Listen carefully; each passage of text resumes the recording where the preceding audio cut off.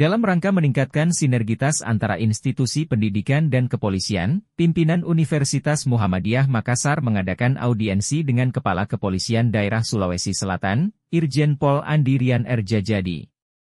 Pertemuan ini diadakan di Markas Polda Sulsel, Jalan Perintis Kemerdekaan pada Kamis 16 Mei 2024.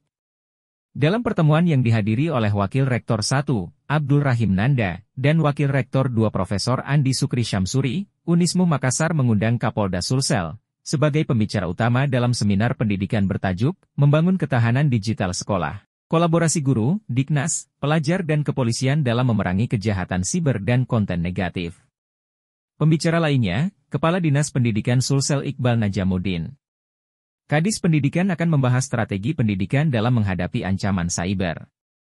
Seminar ini juga akan mengeksplorasi peran teknologi kecerdasan buatan dalam pendidikan dan risiko yang dapat timbul dari penggunaannya yang tidak tepat.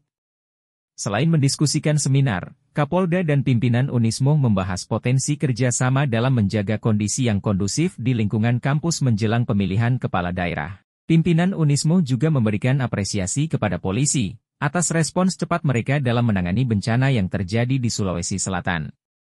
Dalam audiensi ini, turut hadir Ketua Badan Penjaminan Mutu Unismo Burhanuddin, Kepala Biro Administrasi Umum, Keuangan dan Sumber Daya Unismo Sahabuddin Nanda, Kepala Humas Unismo, Hadi Saputra, dan Kepala Pusdiklat Unismo Zulkifli. Audiensi ini menegaskan pentingnya, kolaborasi antara sektor pendidikan dan kepolisian, dalam menciptakan lingkungan belajar yang aman, dan mendukung upaya pencegahan serta penanganan berbagai masalah sosial yang terjadi di lingkungan sekolah dan masyarakat.